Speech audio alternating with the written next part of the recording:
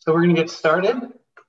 All right. Uh, I want to welcome everyone who's watching this, uh, all the students, as well as I really do want to thank Jason here, who's uh, from Traditional Medicinals, who's going to talk to us today about the company and walk us through sort of a, a tour, of kind of a photo tour of the Traditional Medicinals facility in Sebastopol, um, and tell us a little bit about the company and the culture.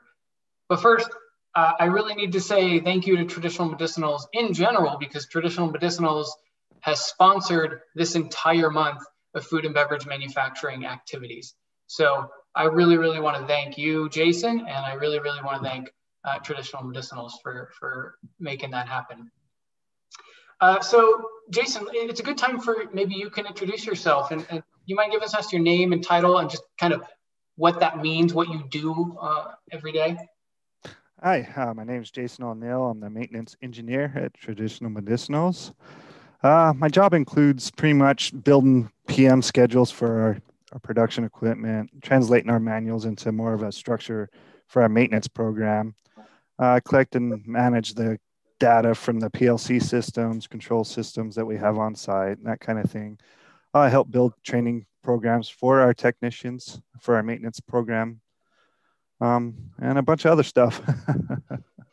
Isn't that kind of like the norm? You have all these things on a job yeah. description, and then there's yeah, that ten percent.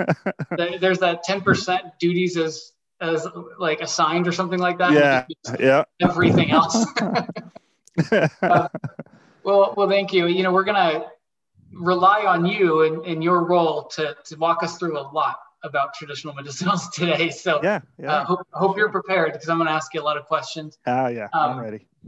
so what we wanted to do before we get started with everything is we wanted to show you just a short little commercial actually of traditional medicinals tea. It's one that is familiar to me because I've seen it on YouTube and I think I've seen it uh, on, on Hulu. So I'm just going to share my screen here. At Traditional Medicinals, we think plants are amazing. All it takes is a closer look, and you'll discover that Echinacea can support your immune system. Eucalyptus can help give you a breath of fresh air, and lemon ginger can promote digestion. Every which way we turn, Mother Nature is there to greet us with her amazing healing plants. So the next time you're wondering what makes our teas so incredible, make sure to lean in a little closer. Support your health. Traditional Medicinals. It's amazing what a plant can do. So what I love about that is that I, I, I have literally seen that commercial before, and I know the traditional medicinals is like right here in our backyard. And so for me, it's really, really neat to see that, right? You know, you sometimes you don't realize the major companies that we have right here in Sonoma County, and traditional medicinals is one of them. And I'm hoping what you can do, Jason, is maybe give us sort of a, an understanding about what traditional medicinals does and really kind of the scope of how, how big of a tea company it is? Ah, so traditional medicinals, uh, they make wellness products, which includes bag teas, lozenges, capsules, and bars and chews. It's the it's fourth biggest tea manufacturing company in the U.S. Just here in Sonoma County here. Um, yeah, their main office is located in Rohnert Park and the production facility is located in Sebastopol, where I work. Uh, we employ roughly between 180 employees to 200. Um, it's pretty big. And I think it's worth mentioning too where you guys source your ingredients from. I mean, you guys get stuff from all over the world, right? Yeah, yeah, all over the world. yeah, I, there there are some videos that we're not going to show today that yeah. I've seen about you know the way that traditional medicinals supports uh, the the villages around the world in which you guys source your ingredients from for your teas. Um, and it's really incredible what you guys do. And I think it's um, I think I think it's something to highlight. And in fact, I do once again I want to play another video here to to really highlight the culture of the company and also sort of that mission of sustainability and and treating the customers and where you know those who grow your your, your plants all with respect and humility. And so i'm going to play another video. This is just a couple minutes but i think it really gives a, a good clear understanding of, of the kind of the kind of company that traditional medicinals is So on November 20th, 1974, two really well principled people, Drake Sadler and Rosemary Gladstar, bagged the first bag of traditional medicinals tea. They pioneered a new herbal medicinal tea category in the United States, and they did it with a new socially responsible business model that took into account all of the stakeholders of the company, which would be our herb growers, our employees, our retailers, and also our shareholders. And they set out to connect people to the power of plants to change lives. So here we are 44 years later, where our, our factory looks different, our packaging looks different, but our principles are exactly the same. And we've now grown to be the fourth largest bag tea company in the United States. Uh, we have about 180 employees. We all consider ourselves, we have jobs and titles, but really what we all are is we're all stewards of the dream of Drake and Rosemary Gladstar thing we're probably most proud of is there's a thousand kids in India that are going to one of five traditional medicinal schools right now where we've, we've built the building, provided the teacher hot lunches, uniforms, a bicycle to get there, and we're really investing in those communities that have really uh, provided the herbs for us to make these great teas over the years. And it's an honor for me to work at the company. Just like all the 180 employees of the company, we're all stewards of Drake and Rosemary's dream. And that's a much bigger and much more responsible job than working as the CEO or working in accounting or finance. What I like most about working at Traditional Medicinals is I get to be myself. I'm the exact same person at work as I am at my dinner table with my kids, and we foster that for all our employees.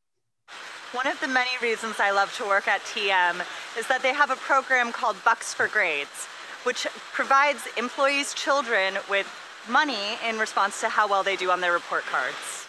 Traditional Medicinals is a great place to work because of the supportive management culture and I really enjoy working with the people. I'm a health and safety manager and the safety culture is pretty awesome here. So, you know, that was uh, Blair Kellison, who I've known for years just through my through my other jobs and through this one. And uh, he's he's one of the he's one of the coolest people out there. And and uh, I think I think he's such a good leader because he cares about the community and he cares about the people. And I think and that that shows through in the whole culture of the company, which which I love. And I'm actually hoping hoping Jason that you can maybe talk a little bit more about that because it, I know I keep on kind of kind of skimming the surface, but maybe you can go into more detail about the sustainability aspect and the culture and you know i know you guys are a b corp maybe you can explain what that is yeah so traditional medicinals is a b certified company and also green business certified company um, that being said their values for sustainability are really strong here by reusing or using only organic filter paper organic string or you know organic tag paper, main, making the tea bag itself compostable. Um, so pretty much 80, 86% of our waste is diverted from landfills, meaning that we're recycling, reusing. One of the things here that I've kind of noticed over the years is that we recycle our used gloves, which is we go through about what 1,300 pounds, two to three weeks, two to three times a year. Um, yeah, and we pretty much recycle all those. Uh, the B certification is a certification on renewability, how the company is invested in its people and its customers, um, things like that. And I'm still learning about the green business certification on that itself, but overall sustainability is a big thing here and that's what draws me mostly to this kind of company is this how sustainable it is and how purposeful it is towards its employees and customers mm-hmm. um, i remember several years ago blair kellison that i just mentioned giving me a tour and he mentioned that they, you, they just bought machines that were able to tie the string to the tea bag without a staple yes. because yes. he said that staple was the one thing, the one last piece that wasn't sustainable. and yeah. and you, you know spent the money, built the machines, whatever, and then now fully fully fully compostable bag. Yeah, That's so cool. But that being said, just to having that not put in the bag is a it's a big deal, and they do it really fast. The machinery, as you will see in the videos and clips, it's it's a step forward in making those bags 100% combust or combustible. and combustible. yeah, yeah, yeah, that too. well, so we want to get into a slideshow of images, and Jason's going to sort of walk us through uh, sort of a, a, slideshow picture of, of the inside of traditional medicinals, including multiple different departments. And so what I'm going to ask for anybody who's watching live, uh, if you have a question that you want to ask for Jason during this entire thing, feel free to ask it on YouTube on the YouTube live chat, and I'll ask it of Jason. Okay.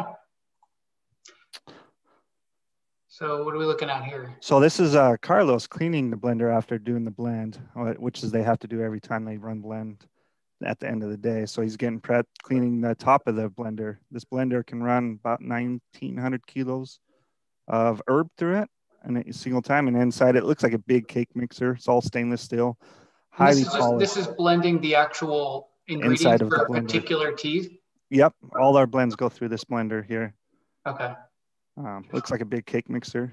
Our builder there getting ready to clean. And looks we have like a she's spraying you. Yeah, yeah. they have these big long spray nozzles they spray down inside, kind of knock off all that loose dirt. you know, one thing to point out is actually how clean everything is, which is is really nice yeah. to see. Um, I've been been in a lot of manufacturing facilities where things aren't as clean as you would yeah, like. Yeah. yeah, this looks very nice. Um, this is our weighing room. They they weigh the bags in here and oh. they're making their blends. They got a weigh scale and the the bag that's hanging off of there. And that's where they use to fill the different blends, suck it through upstairs and then back down into the other side when they're mixing the blends. Hmm. I have a video here. Oh, this is the bottom. This is that same employee, Carlos, on the inside of the bottom of the blender.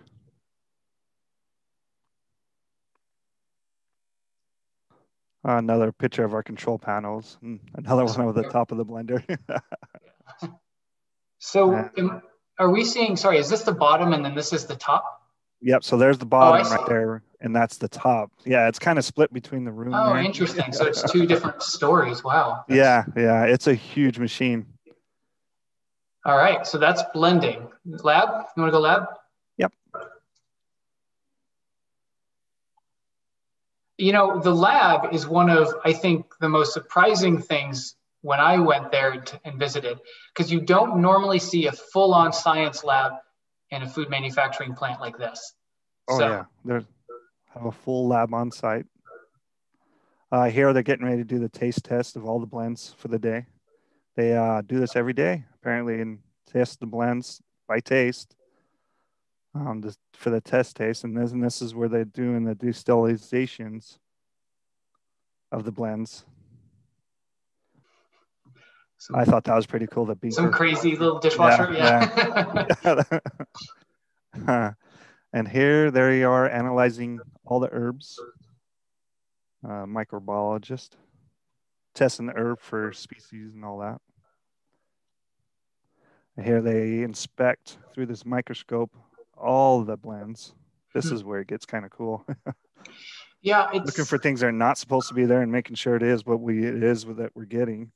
It's so interesting to think that you know when somebody's going through college and they're maybe trying to become a microbiologist or some some sort of field of science like this, they probably didn't think that a you know a tea company would be a, yeah, a good viable place. But that's the thing about food manufacturing is there's so much more to it than people think.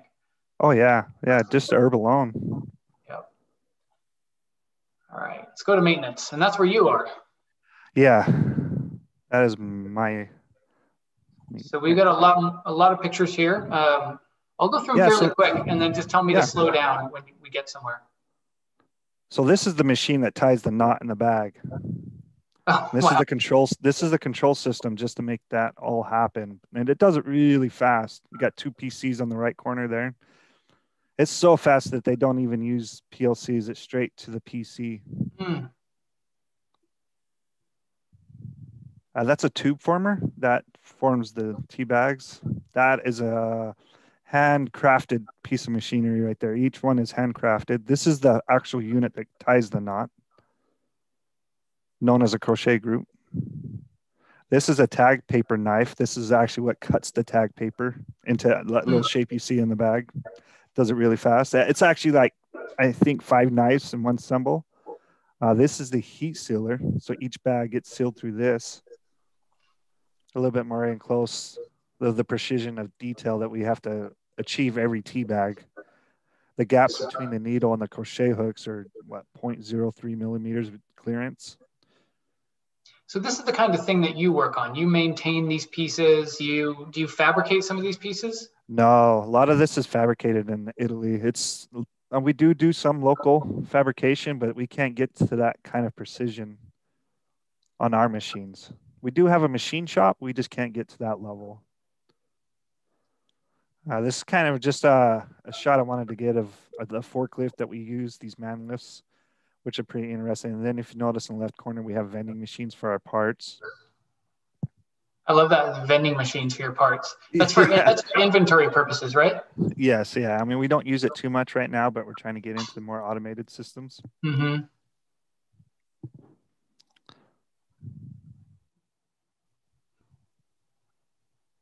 Uh, these are the pictures of doing a rebuild. Oh, the one you were just at. This one.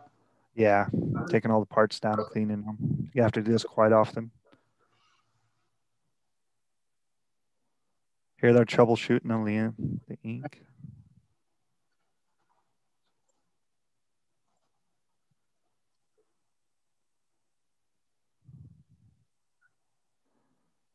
Uh, this machine's getting a PM right now, meaning the part's taken off clean, service, and reinstalled. Huh. How often does something like that have to happen on a, on a machine? Uh, every week. wow. Yeah, the dust from the tea is pretty. It, it gets everywhere.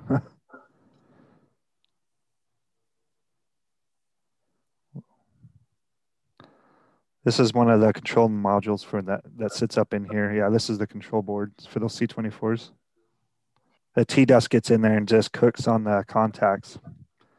Here we're trying a new gripper assembly. They're ceramic coated uh, pieces, which is kind of, it's hard keeping a tea bag to sit still on polished aluminum. So they take and, and polish the tips of them with, uh, polish them and then dip them in chrome, or no, I'm sorry, ceramic. So it provides grip on the bag at high speeds. Hmm.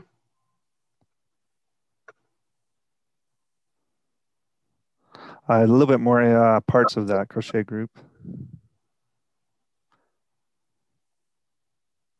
Uh, wow. More pictures of the rebuild. Yeah, this is what we do every week. This is some of the old schematics we have to use before Adobe. so you have to use a magnifying glass. But now most everything you do is online. Yeah, everything's online now. Yeah, which is now you can scroll and click. But these old schematics, we have to.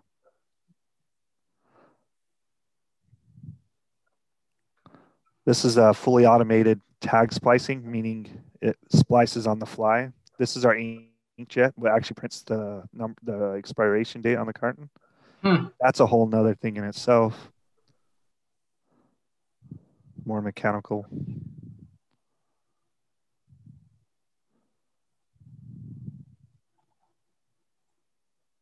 This is our case packing equipment. This is a video. Yeah, there we go. Wow, that's it's nuts. It's, it almost looks like sped up because it's going so fast. Yeah. That's really crazy. All right, let's move on to operations. I'm looking, we don't have any questions on the chat yet, so we'll just keep going. All righty. This is our Mezpik casing equipment downstream. Yeah. So what is this? Sorry, this is where this, it packages this, it? Yeah, so this sorts it. It all comes to this machine. This machine sorts it into lanes of which blend, and then it puts it onto which case packer it goes on, as you see in the coming pictures.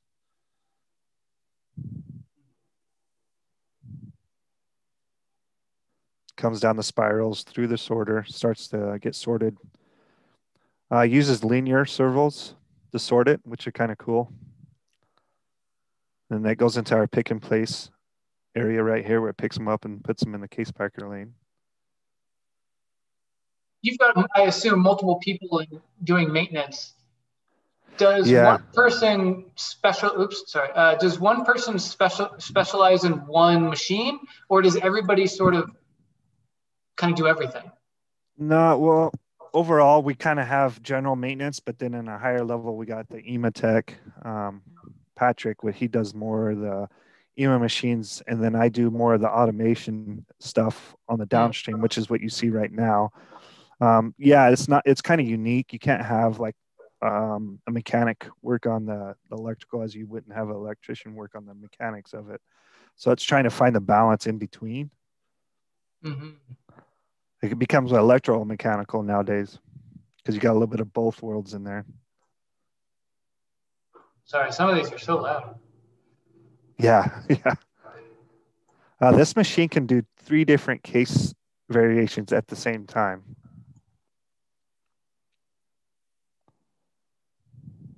And this is at the end where it starts to get palletized in cases. This is our RPAC unit. I'm going to go through these fairly quick, just looking at time.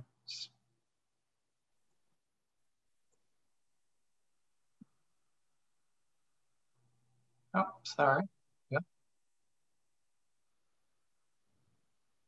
This is our case packer.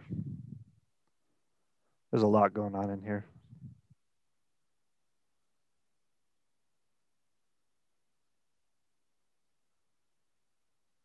Resolution's a bit low, so I'm just gonna yeah, yeah. cut it there.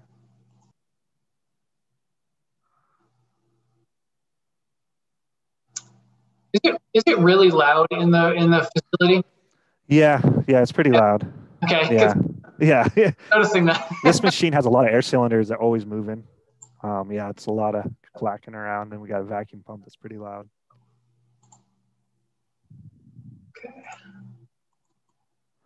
These are our T elevators.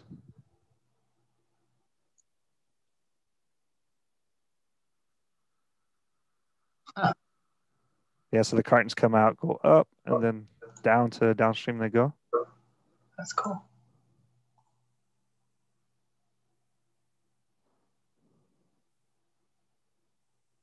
Now this is a whole separate room here, huh? So is this what machine is is this? That These are these are the C24, C23. This isn't the T machine, but this is from the operator side. These are our operators. Uh huh. Okay. These are this is our old C23 machine. Uh, I I want to say this is 2005. These are old tanks. There's a um, still these are really more mechanical than electro electrical. Hmm.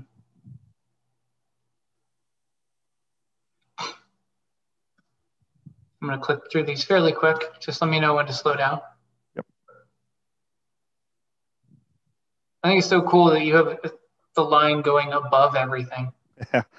That's makes oh. the foot traffic easier. Yeah, I can imagine. So how much how many boxes of tea do you guys produce in a day? On average, I want to say 30,000 cases. Wow. So that's 16 in each carton. Yeah. Each case has six cartons in it. And uh, you guys sell around the world, right? Yeah. And how many employees? It looks like there's a lot of people here. How many employees do you have at the? Uh, well, it's at the facility, the manufacturing facility specifically. Uh, I want to say about 75 employees to 100. Hmm. I mean, we got three shifts though. You guys run 24 7? Yeah, not uh, 24 5. Oh, okay. That's not bad. No. It's interesting trying to keep a machine to run 24 hours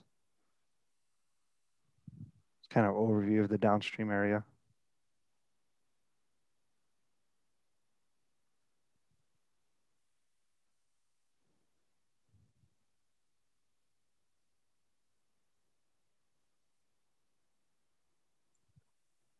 The operators.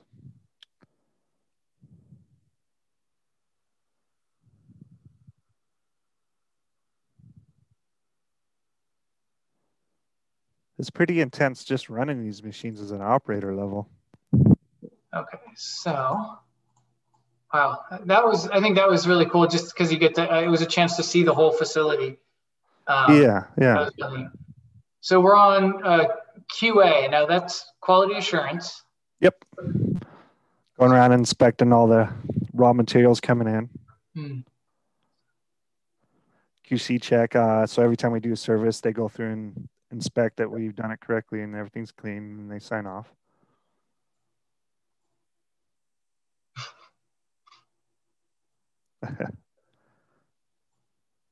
And then last is just a couple pictures. It just says site. So what are we looking at here? Uh, so this is a site department with janitorial. These are the guys going around fixing this, the facility, mm. keeping it clean and operational. That's a good way to end it. a good thumbs up there. well, that's really neat. You know, it's just picture by picture, but it, it gives kind of a good understanding of what we're looking at. Um, you know, it's it's cool to see the different parts, right? You get the you got the whole facility, the manufacturing side. You've got like the the, the maintenance shop, the lab, uh, you know, and then like you mentioned, that's all at Sebastopol. But you have a whole Rohnert Park office, which is what like marketing, HR, yeah, yeah, stuff like that, right? Yeah, yeah. That's that's incredible. So um, I have a couple more questions for you, and I'm looking. We still don't still don't have any questions uh, from from any students, but I, I, would encourage the students to feel free to throw a question up here, and I'll, I'll ask it of Jason. Um, but I got some question for you. Number one, probably the most important. What's your favorite traditional medicinals tea? I have to go with Nighty Night. This is one of my uh, favorite ones. Oh yeah. Yeah, this one. It seems okay for me does the job. Relaxes me at the end of the day. I'm an everyday detox kind of guy. Ah, ah that one's yeah. pretty good too. I like that one in the summer. Yeah, I, what's interesting is I didn't like the flavor at first, but then I really liked it. Uh, I can't yeah. explain how that change happened. It grows on you. Yeah. I think I think I just didn't expect the flavor, but now I really like how sweet it is. Um, so you know, you're in maintenance, and I want to learn a little bit more about that job specifically. So, what is it that drew you to a career in maintenance? Uh, I, I think for me, it's a love of the machine, learning the technology, just what it takes for raw energy to make something, meaning electrical, you know, pneumatic, hydraulics, whatever it is. Um, that's kind of what drew me to it. Um, and I just got sucked into it after that and just, well, well, how does that work? Oh, how does this work? And, and then trying to keep something sustainably running correctly and efficiently is a challenge. Mm-hmm. Um, I like to have the model walking up to a machine and being able to hit the green button and it just fully automatically run. Um, but what goes on under the hood is what really attracts me to it. so, what uh, kind of training did you have to get to go into that? Uh, a lot of a broad, um, a broad training, training across all fields, meaning electrical schematics, reading, blueprints, programming, understanding programming, electronics. I mean, there's just there's a whole bunch of things I've had to go through through vendor classes and the classes I took at the local JC and just talking to other people at the JC um, to get certifications in like automation or hydraulics and or mechanical. Hmm. So as far as you know, you mentioned the interests, but like what kind of skills does somebody need to to be successful? Because I'm thinking about the students who are watching this. This is you know yeah. mainly high school students, grades nine through twelve, and they're either starting to consider where they want to go, or they are like about to make that decision, right? Like maybe they're about to graduate. So, so what kind of um, what kind of skills does one need to be successful in a in a job like maintenance? I think one should have the natural curiosity to draw them to this kind of industry. Um, that kind of just gets your foot in the door. But after that, it's just skills of note taking and, and record keeping for yourself and being able to build off of that, but also experiencing it, um, seeing it for the first hand, getting your hands in there. Um, one of the things I really recommend having good skills is the base discipline of understanding a machine on paper um, versus actually out on the floor that was one of the big things for me um, understanding a machine by looking at it on paper. So i would say really understanding schematics and then from there programming is another one. Is uh, another one that's coming a big one.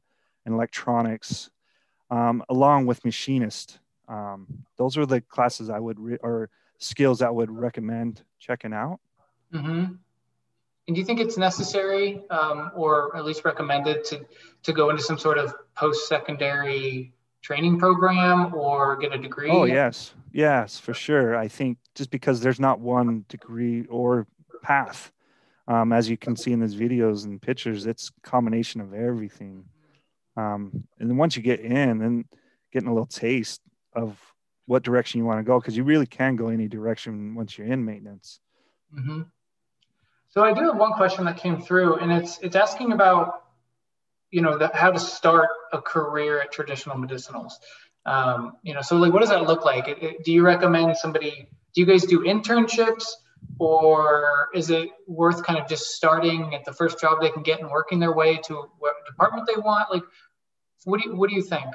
I would strongly recommend just getting a job in any position and then working to see once you get in um, if this is the right fit or because there's so many different paths of growth once you get in mm-hmm. to go from there that's kind of how i did it but i've also seen people come in from the other side where they got a degree first too um, and then once they got in they're like oh no maybe i'd rather go into operations you know that kind of thing but i definitely it's a very unique company so being in getting started inside then seeing where you want to go i highly recommend so it sounds like it just kind of depends on what your what your incentive is, right? Is is your incentive in a particular job? Then that would mean maybe pursue the job first and maybe some of that training.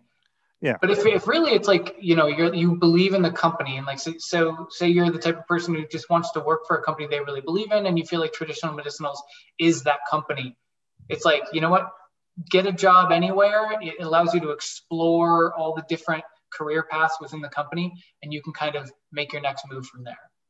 Yes. Uh, yeah that's that's really good that's really good advice. Um, i came to work at tm for the company. I started as a mechanic and then once i got in here i learned about plcs programming networking and i kind of ventured off from the mechanic world and more into the networking world. So yeah. Um, that's yeah. How long have you worked there uh, I started in 2012, and then I left for a little while and then came back. Um, meanwhile, taking classes at the JC, um, and then previous classes from my previous employments. Um, yeah, that's I came in as a mechanic. Um, one of the job descriptions was PLC, knowledge of PLC, which is at that time I didn't even know what a PLC was, mm-hmm. but it really sparked my interest. Um, and then I ended up taking going to the JC and I started out taking, I wanted to take um, Spanish classes, but I found out they had electronics program. Um, and then I just started off from there and just started taking every class I could get whenever mm-hmm. I could get it. And PLC is program logic controls, just for, right? Yeah. Yeah. Well, that's where it started. But then I ended up taking electronics class, then I took yeah. electrical class and then computer classes. I just wanted to clarify for those yeah. yeah. what the acronym was. So yeah, yeah. Well, you know, Jason, I think I'm looking at time and we're, we're right about there. And so I want to give you a big thank you for joining us today and walking us through this and also taking all those pictures. I mean, I can't imagine that, you know, was a, a, a small task to take the hundred something pictures and videos. So um, we really appreciate that. And then once again, we want to thank Traditional Medicinals for, for sponsoring this entire month of virtual activities. So, um, and then thank you to every student who's watching. We appreciate it. So, Jason, you have yourself a, a good day, and I'll see you later. All right. Thank Thanks. you for having me. All right.